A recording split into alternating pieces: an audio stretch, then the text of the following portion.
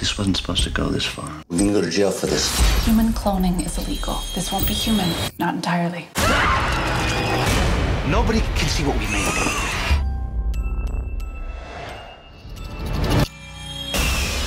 What's going on? She's so hard to control.